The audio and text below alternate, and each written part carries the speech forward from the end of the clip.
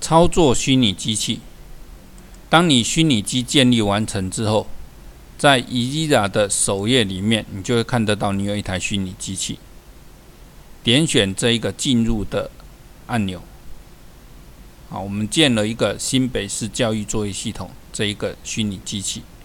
那按了进去的系统，你会看得到现在一个虚拟机的使用状况，包括 CPU，包括记忆体，用了多少。那这个就是刚才的 V 那个 VNC 的一个操作界面，我们选择的。那这是使用指令，这很少，一般使用者你不会用 SSH，大概是管理者才会用的。那这个是重开机，这是关机，然后你可以把这虚拟机删掉，重建一个。那这里是虚拟机的 IP，好，我们来看一下它开出来长什么样子，点选。操作界面，你会发现，哎，奇怪，好像不太动呢，因为火狐狸把弹出视窗挡下来了。好，这时候你要把允许它做弹出视窗，其他浏览器也会做这种动作，会阻挡一些网站做弹出视窗的一个动作。你要把它选择，我允许这个网站弹出视窗。好，再看按一次，选择操作界面。好，这时候你就会看得到，我们这里就有一个视窗出来了。那这就是我们新北市教育作业系统开机完的画面。那你要看到比较完整的画面，就建议你开到最大，好，开到最大。那荧幕的解析度呢，就建议你要大于一零二四乘七六八了。像我们这边是一四四零乘九百。那这这里的里面的画面就会大到最大。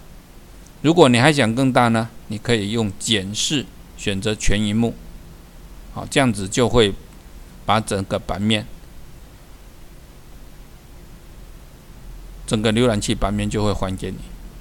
好，这一个已经不是你的电脑了，这个是在网络上面一个虚拟机给你的。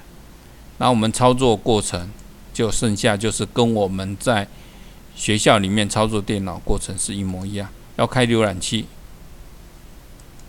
或者我要开 Writer，一样点选，它就会帮你把 Writer 打开来，好，把浏览器打开来，好，这里看得到我们浏览器打开来，一样是来到新北市教育作业系统，好，Writer 打开来。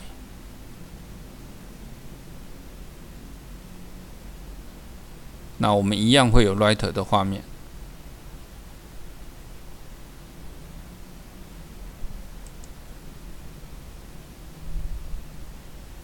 好，那我们把浏览器先关掉。好，Writer 打开来。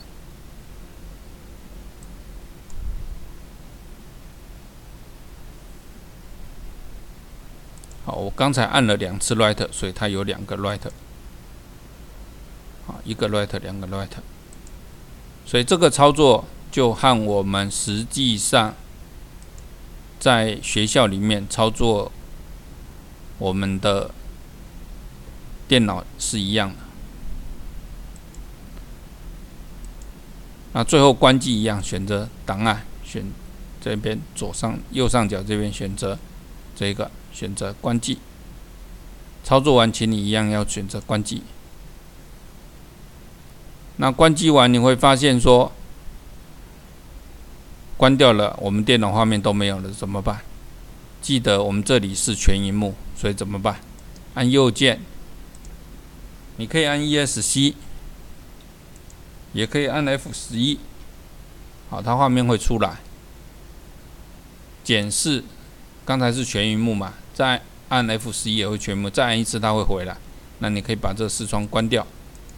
那我们原来的视窗又回来了，好，这样子就可以操作我们的虚拟机器。那值得一提的是，如果我还要再重开机呢，你就会发现说，当我们把机器关掉的时候，我们系统出现的是 “unknown” 这一个讯息。那这边有一个 “boot on” 开机的一个按钮。如果我又要再去，下一次我还想继续把呃体验我们的系统，或者是使用我们的系统，那你可以选择不按这个，选择按开始。那这样它的机器又会重新开机开起来。好，开起来之后，你只要按重新整理。好，你看运行中又开始了，一样你选择操作界面，动作一样，这样你就可以持续的来操作我们的系统。